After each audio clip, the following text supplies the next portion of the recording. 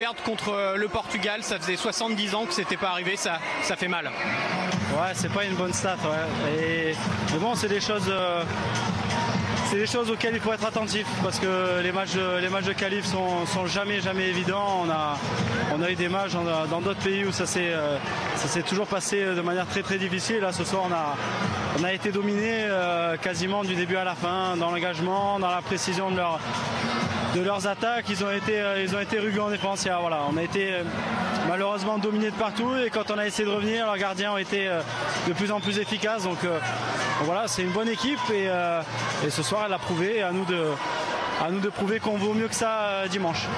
On le dit depuis, depuis quelques semaines, il y, a, il y a beaucoup de matchs dans une saison euh, professionnelle de handball. Est-ce qu'aujourd'hui vous, vous payez la- l'accumulation des matchs aussi? C'est difficile de rester euh, concerné dans les têtes et, et physiquement.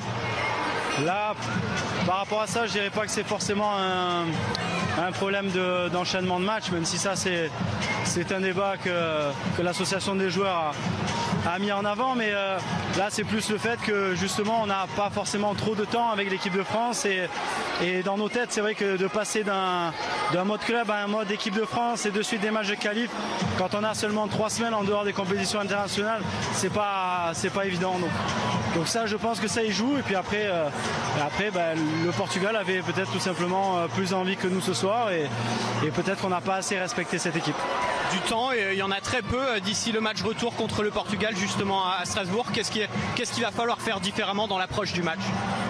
Ouais, déjà, déjà c'est sûr qu'on va pas l'aborder de la même manière. On sera, on sera chez nous euh, complètement remobilisé et, euh, et puis on va aussi euh, travailler euh, tactiquement par rapport à, par rapport à ce qu'ils nous ont proposé. On était en difficulté sur leur jeu à 7 contre 6. Donc voir où est-ce qu'on peut trouver euh, un peu plus de, de manœuvre par rapport à ça. Mais, euh, mais bon voilà, c'est surtout dans, dans notre tête et dans, dans l'engagement qu'il faudra répondre présent.